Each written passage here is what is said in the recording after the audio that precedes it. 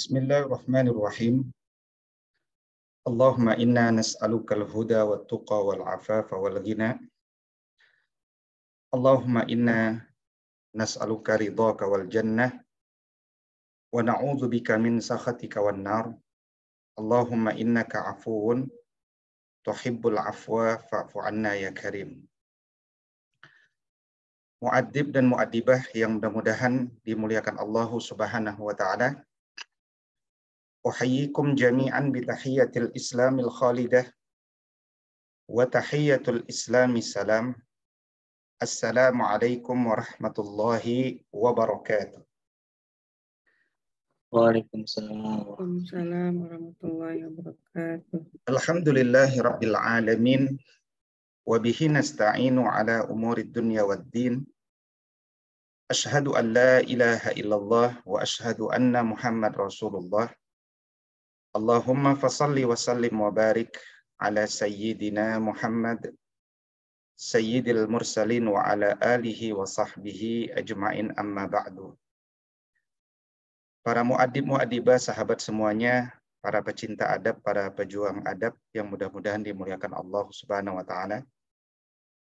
Kita berkumpul adalah untuk satu tujuan tegaknya peradaban. Peradaban muncul jika lahir generasi beradab yang banyak. Generasi beradab lahir karena munculnya institusi-institusi pendidikan yang fokus pada keadaban. Dan tegaknya institusi pendidikan beradab itu sejatinya adalah karena tegaknya visi dari sebuah perjuangan. Dan yang menegakkan visi perjuangan itu adalah para muadib dan muadibah. Dan apa yang telah kita lakukan bersama hari ini dalam bentuk amal jama'i adalah sebuah ikhtiar kita untuk semoga disaksikan Allah sebagai satu amal unggulan kita dan kita beramal jama'i. Namun begitu eh, tadi malam atau hari ini kita kehilangan salah satu pejuang kita ya ini Uktuna Al-Karimah Dwi Mar'atus Salihah. Anak kedua kalau kelihatan namanya mar'atus solihah adalah wanita yang solihah. Uh, tentu saja kematian adalah sebuah kepastian. Namun kematian dalam perjuangan, kematian dalam kelelahan memperjuangkan agama Allah tentu adalah sebuah kemuliaan.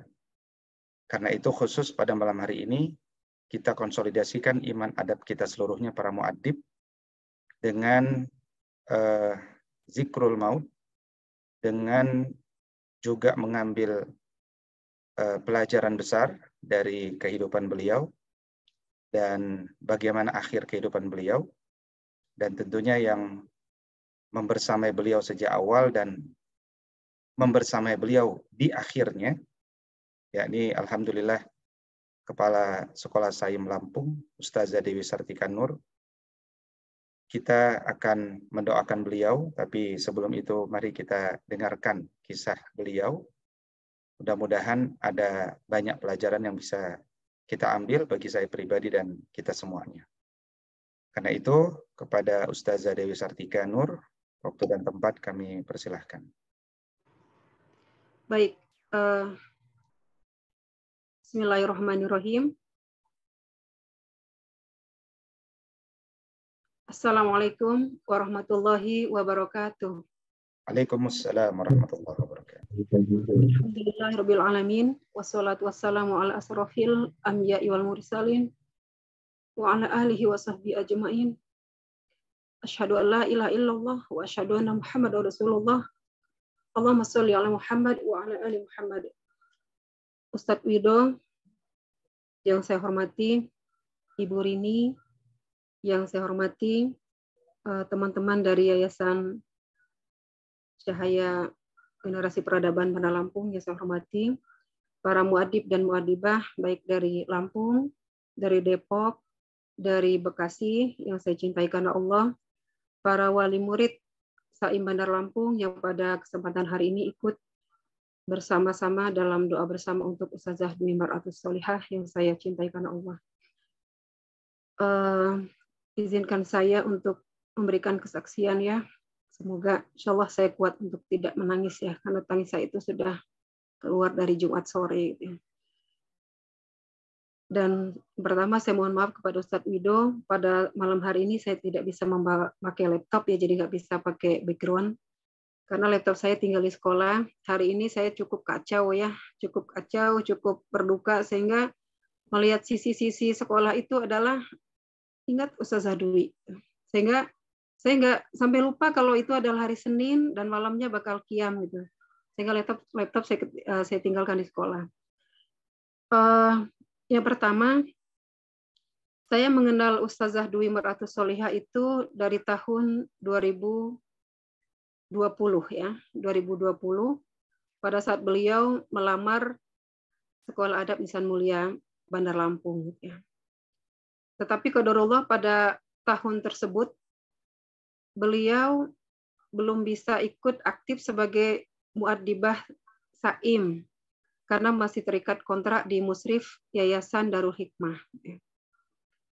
Kemudian pada tahun ajaran baru di tahun 2020 tersebut juga Eh, beliau alhamdulillah sudah bisa ikut aktif menjadi guru resmi Sekolah Adab Insan Mulia Bandar Lampung. Di awal-awal perkenalan, eh, beliau mengatakan bahwa menyampaikan ke Ana pribadi bahwa eh, beliau sangat sevisi dan semisi dengan apa-apa yang menjadi konsep Sekolah Adab Insan Mulia. Maka beliau sangat tertarik untuk gabung. Dalam perjalanan di awal, beliau mengatakan bahwa beliau itu ada sakit ya, ada sakit di kepalanya memang sudah dipasang selang karena sempat hidrosepalus gitu ya. Sehingga uh, beliau itu sangat berazam menghabis ingin menghabiskan waktunya untuk dakwah Quran dan dakwah di sekolah adab itu. Ya. Perlu kita sama-sama ketahui bahwa perjalanan beliau dari rumah ke sekolah adab Insan Mulia yang sekarang di Wai Halim Perawan itu sekitar 28 kilo. 28 kilometer eh, dan rata tidak pernah telat gitu. Kalaupun telat itu terlambat 5 menit atau maksimal eh, tujuh menit atau 10 menit. Gitu. Sehingga memang beliau itu berangkat itu sekitar jam 5 lewat seperempat atau 5.15 ya sudah berangkat dari sekolah eh, dengan ngebut ngebut ya. Barangkali para ayah bunda dan teman-teman yang ikut takziah kemarin eh, tahu persis ya bagaimana medan ke tempat itu cukup jauh. Memang bukan medan yang mulus gitu untuk ke sana gitu ya. Uh, tapi karena itikat yang luar biasa dan azam yang luar biasa untuk membersamai perkembangan Saim ini, tidak ada keluh kesah sama sekali di beliau. Tidak ada keluh kesah sama sekali. Saim Bandar Lampung pernah mengalami ujian yang uh, cukup berat ya di tahun 2021 ya tempo hari. Tapi alhamdulillah beliau sampai menyatakan ke Ana bahwa Umi saya ingin membersamai Saim sekuat yang saya bisa gitu ya. Sekuat yang saya bisa dan terbukti gitu ya. Hari-hari beliau adalah hari-hari penuh semangat ya hari-hari beliau itu hari-hari penuh ceria gitu ya. Bahkan kalau sampai di sekolah eh, saya menyambut eh, anak-anak dan muadib di depan pintu itu, beliau sering bilang gini, ya terakhir ya, terakhir hari Jumat beliau gini, bilang begini, Umi, saya ini kayak orang gila ya gitu. Lah kenapa Ustazah Dwi kok kayak orang gila? 30 menit saya bisa tempuh ke sini. Nggak tahu saya sampai kayak mana di perjalanan, kata beliau. Kok bisa 30 menit sampai? Dan bagi saya, beliau memang biasa guyon, biasa bercanda gitu ya. Sehingga hari-hari ceria beliau itu memang menghiasi sekolah adab insan mulia. Bahkan di kami ketawarannya itu biasa gitu. Misalnya di waktu jam kudapan gitu. Beliau selalu semangat. Apa pun makanan yang ada itu nggak pernah ditolak. Ini ini apa gitu. Apa pun makanannya selalu dimakan dengan lahap gitu. Itu menunjukkan ketawaduan beliau. Kemudian hari-hari uh, pengadaban itu hampir tidak ada tugas-tugas yang terbengkalai. Semua tugas-tugas dilaksanakan dengan uh, tepat waktu dan dengan maksimal. Gitu ya. Walaupun uh, perlu saya sampaikan bahwa beliau itu full waktunya habis satu hari itu full habis gitu.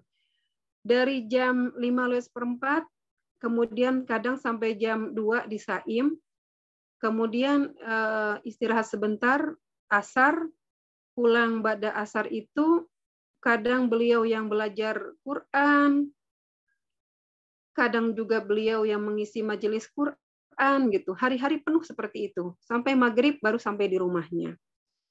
Kemudian uh, Ba'da Isya membersamai santri-santri di kampungnya untuk belajar ngaji. Gitu. Itu kira-kira sampai jam 9 atau jam 10 malam jam 10 malam sampai jam 12 itu beliau sibuk ya mengerjakan tugas sekolah kadang-kadang kemudian murojaah gitu. Sehingga kalau jam 11 malam kadang-kadang masih online gitu, masih online dan masih uh, setia dengan tugas-tugasnya. Bahkan malam hari itu karena khawatir kesiangan di pagi hari, beliau mempersiapkan makanan untuk besoknya gitu. Walaupun beliau sendiri nggak makan gitu di pagi hari itu tidak memakan apa yang beliau masak gitu. Karena di rumahnya itu uh, bapaknya uh, sendirian gitu ya. Sebelum kalau baru sebulan ini bapaknya menikah lagi gitu ya. Jadi selama ini memang bapaknya sama adik bungsunya dan di samping rumahnya itu ada mbah dua mbahnya yang itu tanggung jawab beliau untuk masak di pagi hari gitu. Jadi bisa kita bayangkan bahwa bisa jadi beliau itu cuma tidur dua jam atau tiga jam dalam satu hari. Gitu bangun jam 4 atau jam setengah 4, bersiap-siap ya untuk uh, sholat, kemudian uh, sholat subuh, zikir, dan berangkat lagi. Satu yang sering beliau sampaikan ke kami adalah bahwa uh, saya ini nggak pernah sakit loh, Mi. Gitu. Ya.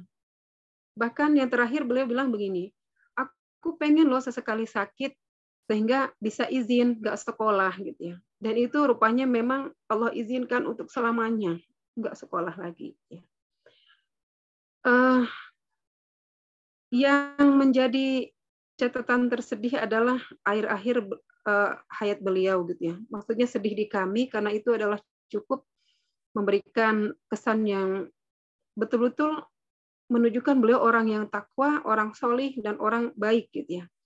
Pada hari Jumat itu tidak ada yang tanda-tanda di kami yang bisa kami baca bahwa beliau akan pergi gitu ya hari Jumat itu adalah puncak tema di uh, Saimana Lampung. Kami mengadakan day, uh, market day gitu ya, dan hari guru, peringatan hari guru. Karena memang Saimana Lampung masih sedikit muridnya, maka market day itu diikuti oleh semua murid gitu, yang seharusnya diikuti oleh kelas 4, tapi biar seru sekalian uh, sekaligus peringatan hari guru, kami mengadakan di hari Jumat ya. Ustazah Dwi yang secara seni kurang gitu ya tetapi di hari Jumat itu sampai bilang begini, Mi, nggak bagus loh, nggak cantik loh kalau kurang hias-hiasannya gitu. Ya selama ini beliau cuek dalam hal itu gitu ya.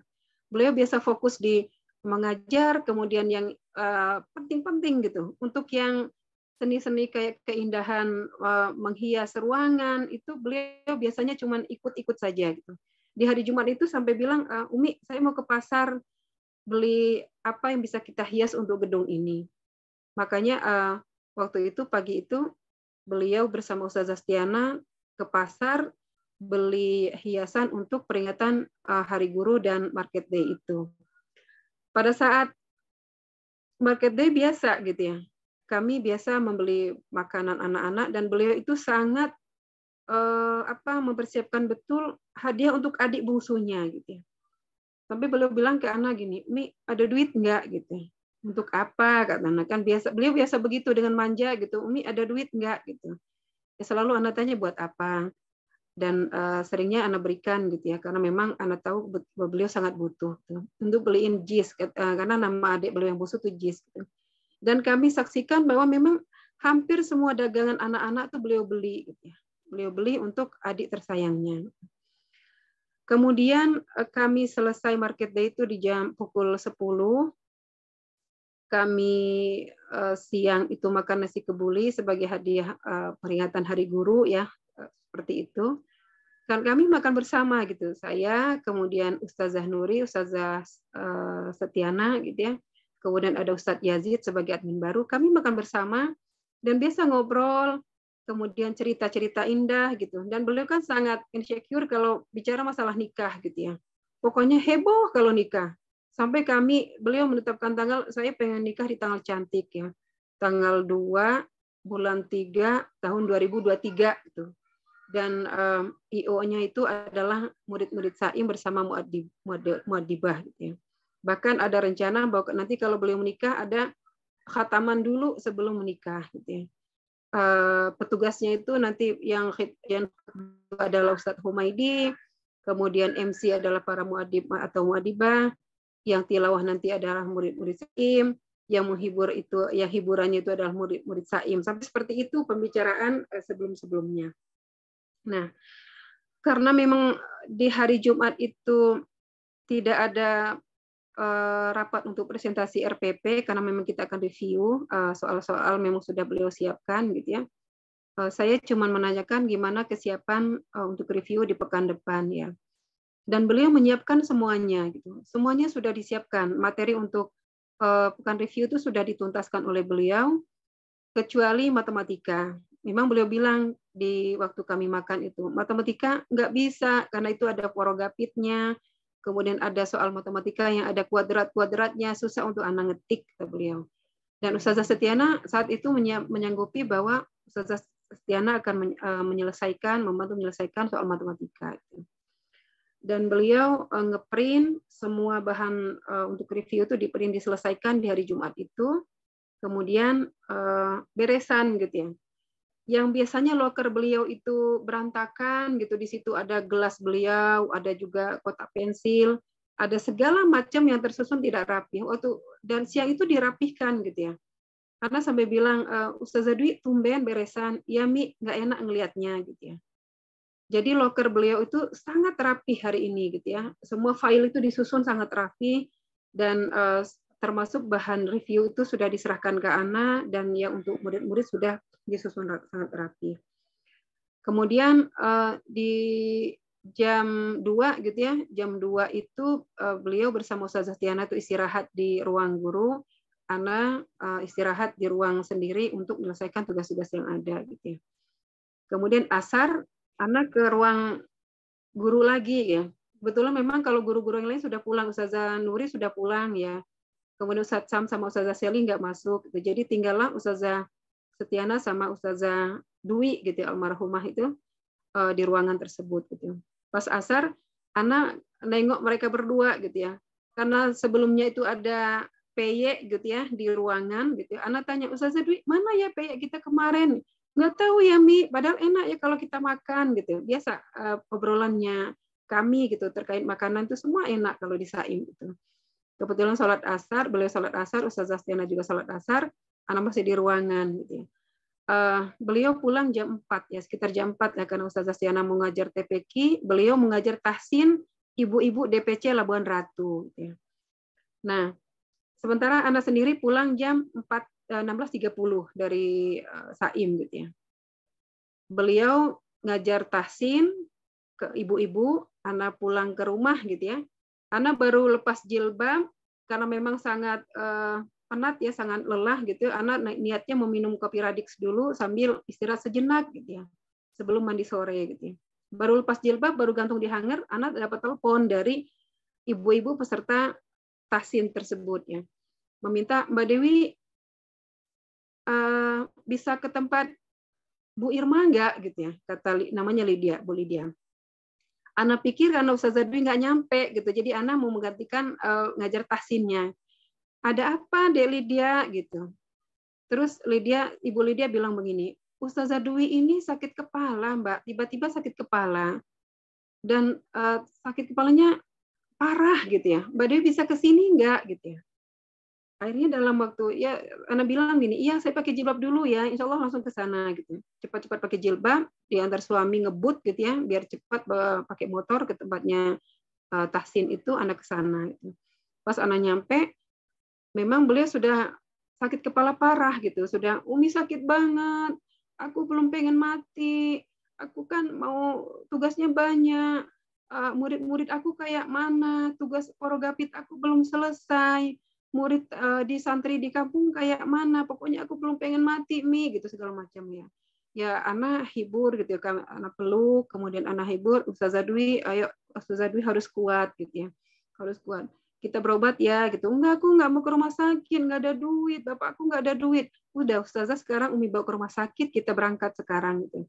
Anak telepon suami suami kebetulan lagi di luar nggak bisa nganter ya. Jadi anak telepon adik Ana. Jadi adik Ana tuh baru pulang dari sekolah juga ya Ana minta tolong langsung ke lokasi tempat uh, ibu-ibu belajar tasin ya. Jadi alhamdulillah bisa cepat ya anak ambil langkah cepat dibawa ke rumah sakit namanya rumah sakit Advent gitu ya. Jadi saya uh, adik anak yang nyupir kemudian Ibu Lydia peserta tasin tadi dan Ustazah Dwi di mobil. Sampai kira-kira setengah kilo ya dari rumah belajar tasin tersebut beliau bilang gini Umi aku pengen muntah gitu ya karena bilang ya udah nggak apa-apa muntah aja di mobil gitu. Tapi kan beliau masih nggak mau gitu. Akhirnya karena nggak ada plastik juga di mobil. Karena eh, kemudian kami tetap berlanjut di perjalanan karena berhenti sebentar minta di tukang dugan karena minta plastik eh, dan setelah ada plastik itu beliau muntah ya. Muntah cukup banyak ya dan memang cukup aroma cukup sangat eh, kuat gitu aroma muntahnya. Sampai anda sendiri muntah gitu di mobil itu karena aromanya. Terus Uh, tapi itu muntah masih normal gitu, masih makanan-makanan memang dimakan pada hari itu. Kemudian sampai di rumah sakit, beliau bilang gini, e, lemas banget gitu ya, lemas banget. Ustazah harus kuat ya, harus kuat gitu ya. Anda langsung masuk IGD, minta petugas untuk e, jemput ya karena memang sudah nggak bisa jalan lagi, nggak ada tenaga lagi. Di oleh petugas masuklah kami di ruang IGD. Anda langsung laporan ke tim medis ke petugas ya Eh, terkait dengan Ustazah Dwi, Anda sampaikan bahwa ada rekam mediknya, medisnya bahwa sempat operasi kepala di uh, sekitar enam tahun atau tujuh tahun yang lalu. Maka rumah sakit menolak gitu. Dalam kondisi sudah pingsan, nggak ada daya, ada riwayat seperti itu, rumah sakit nolak gitu. Disarankan ke rumah sakit umum. Akhirnya kami ngebut lagi lah, ngebut lagi ke rumah sakit umum. Itu kondisi maghrib itu. Jadi kami berangkat dari uh, rumahnya tepat Tahsin tuh kira-kira jam 5 ya, kira-kira jam 5 nyampe rumah sakit Advent namanya itu kira-kira memang karena prosesnya kan cukup lama. Kami harus turun dulu dari lantai dua di rumah Tahsin itu. Kemudian mak-mak semuanya gitu ya. Uh, kemudian sampai rumah sakit yang pertama itu kira-kira jam 6 kurang seperempat. Dan kondisi beliau sudah pingsan, sudah nggak ada tenaga sama sekali. Dan nggak bisa ngomong sama sekali gitu ya. Kemudian nyampe di rumah sakit umum itu sekitar jam 6 lewat 20. 6 lewat 20, ya 18.20 gitu ya. Saya langsung ke IGD, laporan ke teman-teman eh, petugasnya itu, ke tim medisnya, kemudian langsung ditangani, langsung diinfus, langsung diperiksa segala macam. Sekitar uh, pukul 7 ya, pukul 7 itu semua pemeriksaan sudah berjalan, sudah diinfus, sudah cek darah segala macam, sudah pasang kateter segala macam dan izin izin ke karena memang anak langsung ambil tindak apa keputusan langsung itu harus cepat gitu ya. Uh, tim medis bilang bahwa ini harus masuk makanan lewat hidung gitu ya. Karena lewat infus nggak bisa masuk lagi. Karena uh, telepon mbaknya yang di Jakarta, yang dokter kebetulan dokter juga dan mbaknya menyetujui bahwa itu boleh dilaksanakan. Mbak Daisha beliau muntah darah gitu tepat di pangkuan Ana karena memang Ana diminta dokter itu harus standby menjaga beliau. Beliau muntah darah, gitu. Sazadwi muntah darah dan lumayan banyak gitu ya, lumayan banyak ya. Ana tanya ke tim medisnya, ini kenapa kok bisa muntah darah? Gitu ya. Ada apa? Apakah lambungnya bermasalah atau apa? Terus uh, namanya tim medis ya dengan smooth ya sangat halus menyampaikan bahwa kita belum bisa menjawab karena uh, belum ada CT scan-nya belum ada, dan hasil cek darah juga belum ada. Ibu bersabar gitu. Sudah saya bersabar menunggu hasil. Gitu. Uh, malam itu dilaksanakan CT scan dan hasil CT scan itu ada pendarahan di kepala gitu ya. Pendarahan di kepala. Dan mungkin ya dokter itu sudah memprediksi kemungkinan terburuk yang akan terjadi pada Ustazah Dwi gitu. Sehingga nggak masuk ruang ICU gitu ya nggak masuk ruang ISU, masih di IGD gitu. Maka pada hari Sabtu itu dalam kondisi sudah koma. Gitu. Pada hari Sabtu eh, setelah semuanya jelas gitu ya ada pendarahan, kondisi memang sudah uh, berat gitu ya. Masuklah di ruang perawatan, masuk di ruang PIV uh, dan dirawat biasa gitu. Tapi memang obat-obatnya yang diberikan dokter itu adalah obat uh, peredam nyeri ya dan apa namanya mengurangi pendarahan di kepala gitu ya. Dan itu sebenarnya memang sudah koma ya dalam tanda kutip sudah koma gitu ya. Kebetulan perawat di ruang PIP itu adalah uh, tetangga kami di depan rumah gitu di komplek kami ini dan Ana sempat konsul ya gimana dengan sebenarnya kondisi ini gimana gitu ya. Saya sebagai pribadi nanya uh, seperti apa. Uh, perawat yang di ruang PIP tuh bilang ke saya gitu ya bahwa ini nggak boleh ditinggal lagi. Kondisi nggak boleh ditinggal kalau bisa dijaga terus gitu ya. Uh, walaupun uh, ini memang nggak bisa masuk di ruang ICU kata beliau kan karena memang banyak pertimbangan. Uh, di malam Ahad itu saya berjaga sampai sekitar jam satu ya pas setengah dua gitu ya setengah dua karena memang saya sudah demam juga sudah sangat sakit kepala karena memang sudah dua malam nggak tidur ya uh, jadi saya meminta untuk pulang dulu gitu ya saya pulang sama adik saya yang perempuan saya pulang. Eh, kemudian saya menyampaikan ke mbaknya bahwa uh, Dwi nggak bisa ditinggal gitu. Ya. Dwi nggak bisa ditinggal. Gitu. Akhirnya uh, saya pulang dan besoknya besok pagi sekitar jam 6.30 saya dapat WA dari mbaknya bahwa uh, Umi minta tolong ke sini sekarang kondisi kondisi Dwi sudah menurun gitu, kesadarannya menurun. Saya cepat-cepat ya, kebetulan karena hari itu adalah hari Ahad, ada acara PKS menyapa gitu ya. Jadi saya ke DPW dulu. Kemudian eh, dari DPW itu ngebut ya naik motor ke rumah sakit dan uh, setelah sampai di rumah sakit sempat ketemu sebentar dan beliau lepas gitu ya. Mungkin itu yang bisa saya sampaikan terkait dengan perjalanan Ustazah Dwi yang jelas hari-hari beliau adalah hari-hari uh, bersama Al-Quran dan hari-hari beliau habis untuk umat ini. Ya. Jiwanya, tenaganya, uh, harta yang beliau miliki itu habis untuk umat ini. Sampai beliau tidak lagi memperdulikan apa rasa yang beliau rasakan saat itu. Gitu. Dan uh, Masya Allah ya, beliau pergi di saat hari guru, di saat kebiasaan baik eh, mengajar akan Al-Quran, dan semua bersaksi ya, kami bersaksi bahwa beliau adalah muadib terbaik yang saya miliki saat ini. Allah alam bisawab, mungkin itu saat Wido dan teman-teman semuanya yang bisa saya sampaikan terkait dengan Ustazah Dwi.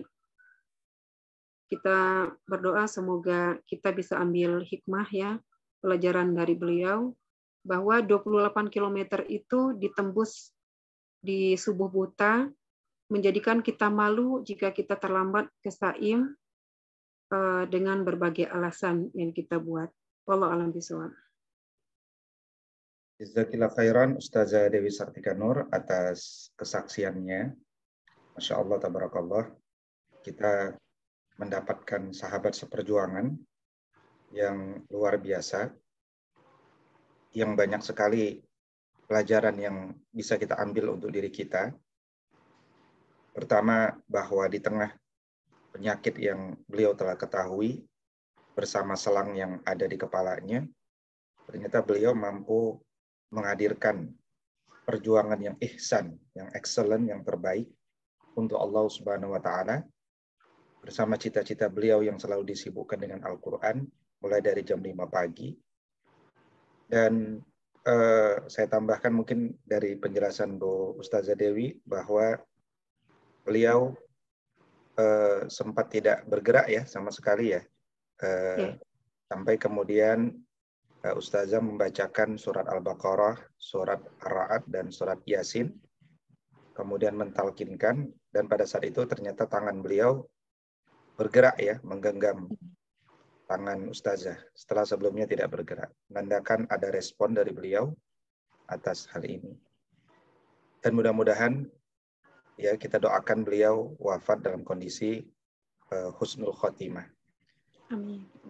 Sebelum kita berdoa bersama, uh, saya mintakan kepada Ustaz Muhammad Humaidi untuk dapat uh, menyampaikan uh, sepatah dua kata. Pada Ustadz Humaidi, waktu dan tempat dipersilahkan.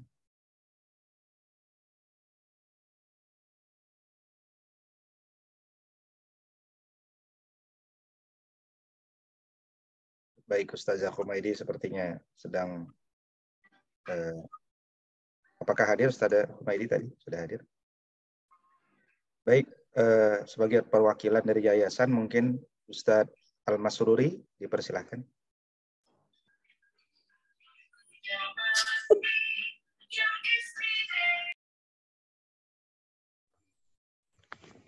Assalamualaikum warahmatullahi wabarakatuh. Waalaikumsalam. Bismillahirrahmanirrahim. Nahmadu wa nasta'inu wa na'udzu billahi min syururi anfusina wa min sayyiati amalina may yahdihillahu fala mudhillalah wa may yudhlil fala hadiyalah. Yang saya hormati Ustadz Ridho Supraha selaku uh, pembina Saim Pusat dan bersama seluruh jajarannya.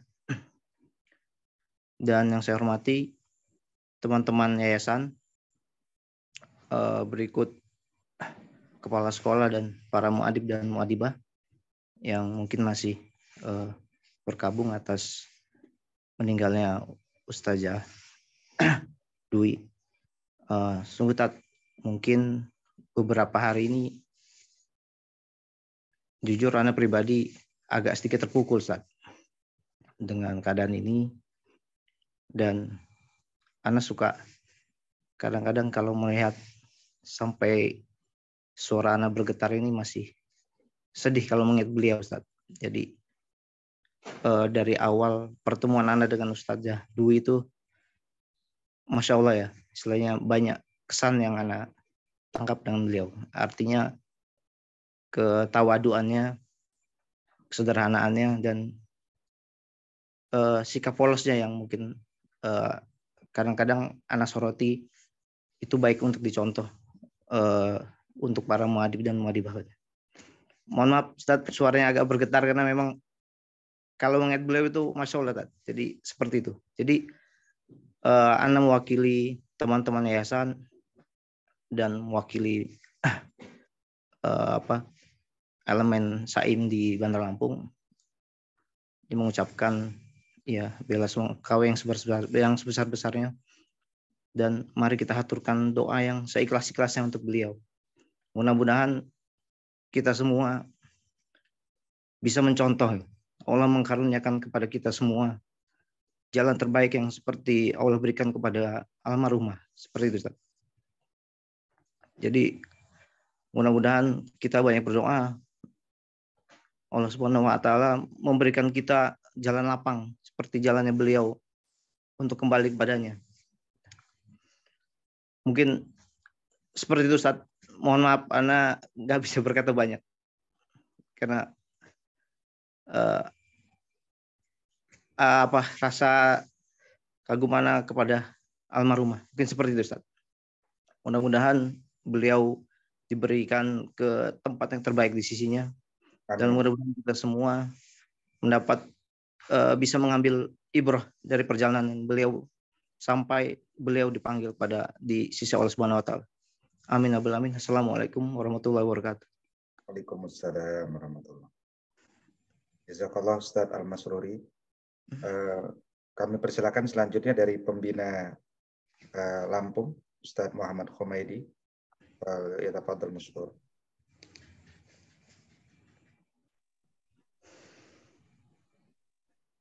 Bismillahirrahmanirrahim.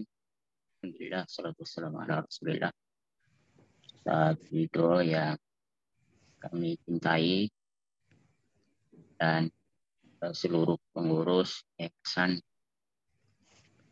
eh, dan para muadib baik Saim di Depok maupun di Lampung seluruh uh, wali murid juga uh, ikut bergabung di Zoom ini khususnya untuk uh, wali murid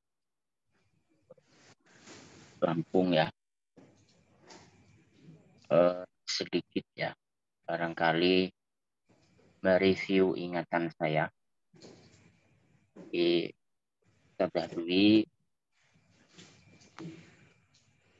2016 atau 2017 ya.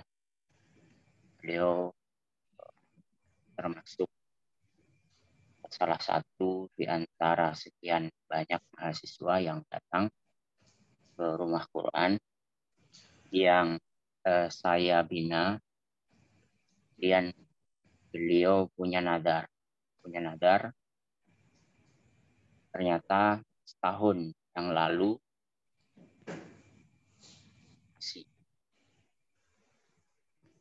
di kepalanya dan nadarnya adalah kalau nanti sembuh saya akan menghafal Quran. Nah, itulah yang menjadi uh, kalimat yang saya ingat uh, tujuh tahun yang lalu.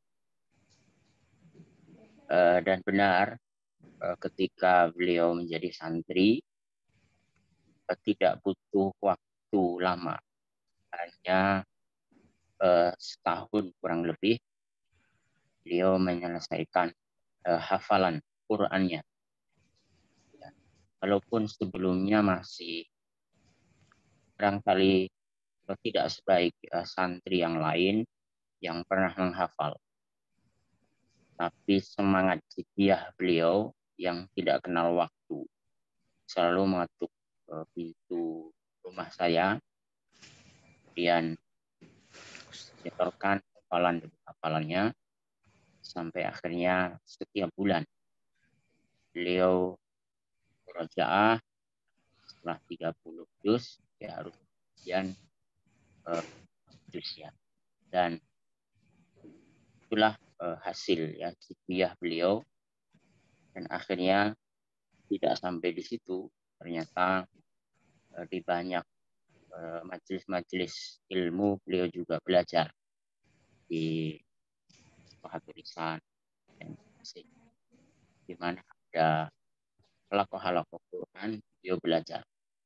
Dan itu yang membuat eh, beliau adalah salah satu yang saya sebut dengan pejuang Quran dari nol sampai akhirnya menyelesaikan hafalannya kemudian menjadi uh, Eh, di lingkungannya bagi ratusan anak-anak. Dan tua selalu merindukan kehadiran beliau ketika beliau selepas mengajar di malam hari di masjid di rumah beliau sendiri. Dan ternyata berkembang.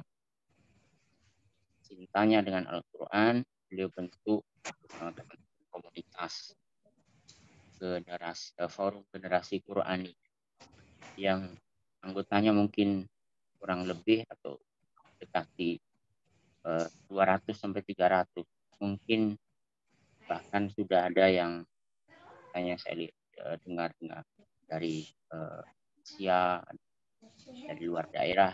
Ini berkat inisiasi barangkali pikiran-pikiran tentang Quran yang ada di jiwa beliau dan uh, yang disampaikan Bu Dewi.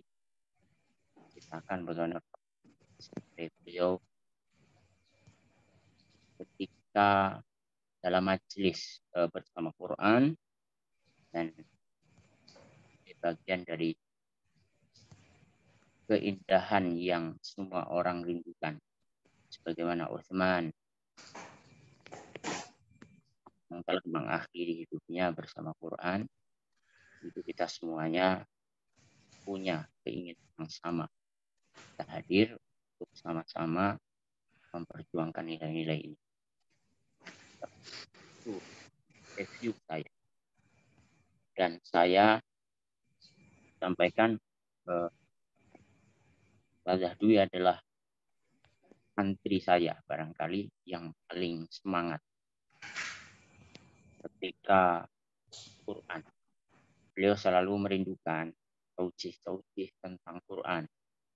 Selalu saya diingatkan bahkan ketika saya lemah, Ustaz kami ingin taujih lagi.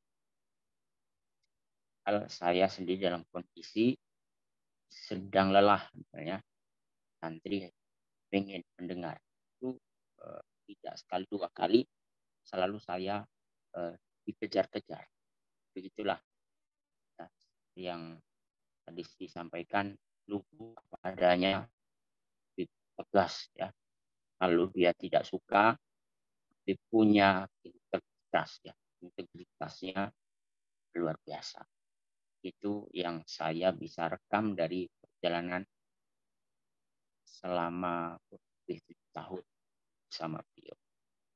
Demikian. Seki. Ada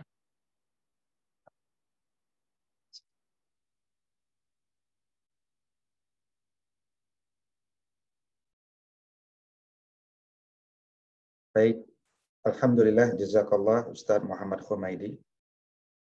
Para muadib muadibah, para wali murid, eh, sahabat semuanya yang membersamai. Eh, demikianlah kira-kira kesaksian luar biasa dari sahabat kita. Wala taqulu lima yuqtalu fi sabilillahi amwat bal. Jangan kita katakan beliau ini telah mati, sejatinya beliau hidup.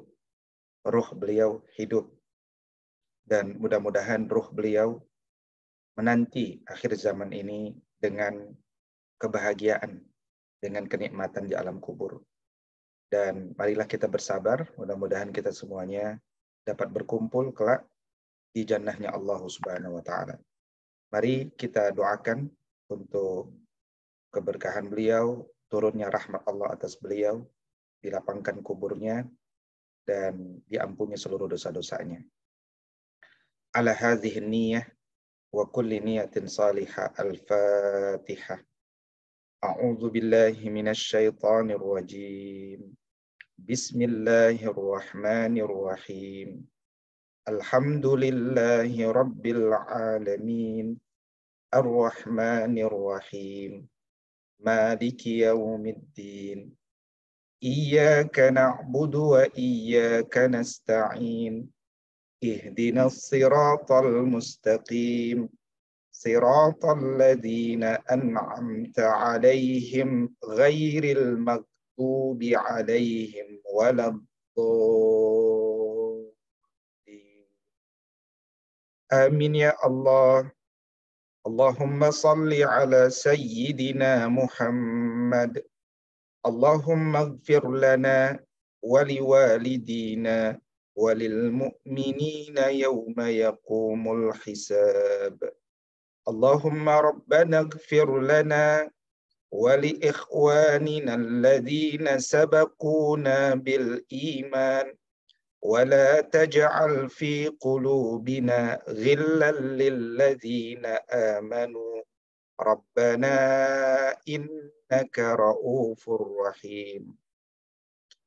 اللهم اغفر لها وارحمها وعافها واعف عنها وأكرم نزلها ووسع مدخلها واغسلها بالماء والثلج والبرد ونقها من الخطايا كما ينقى الثوب الأبيض من الدنس وأبدلها دارا خيرا من دارها وأهلا خيرا من أهلها وزوجا خيرا من زوجها.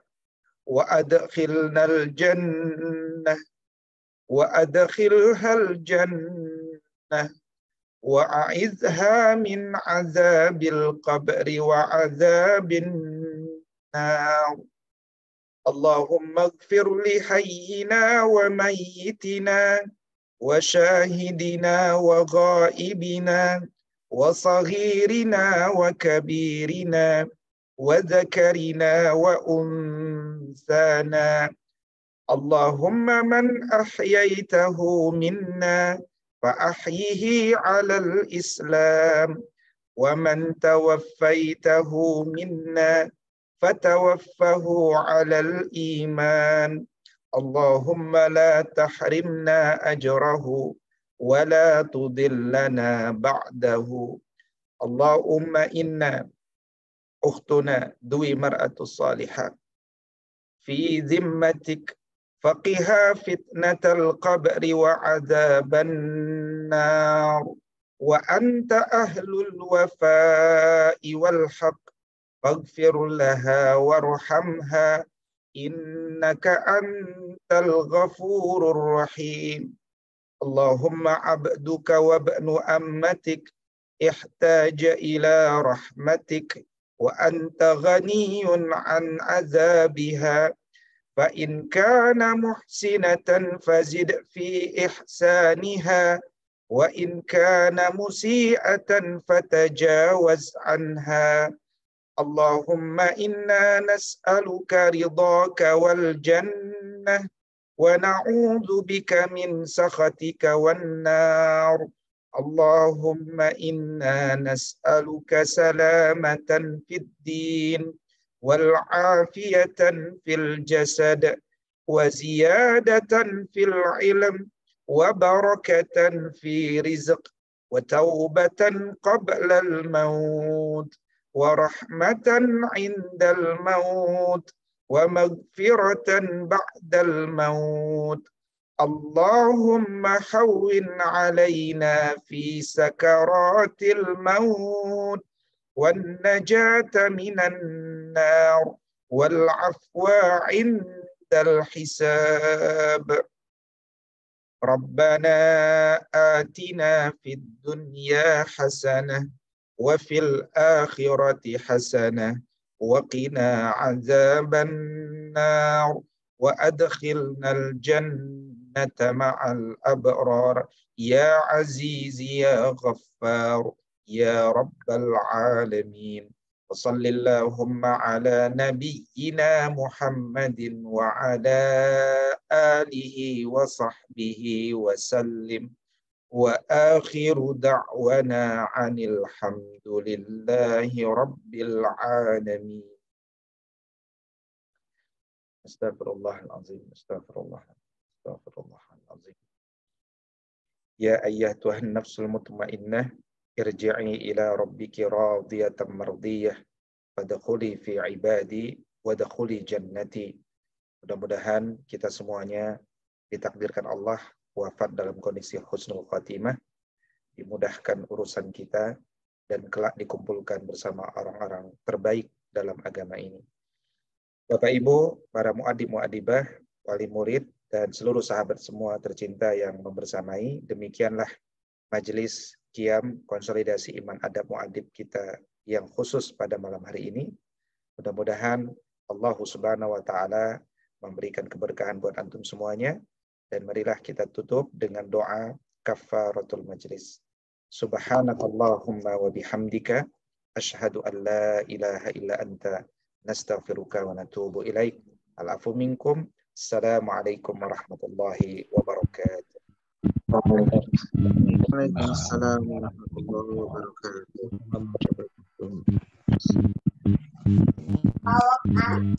Jazakumullah Ustaz. Assalamualaikum warahmatullahi wabarakatuh.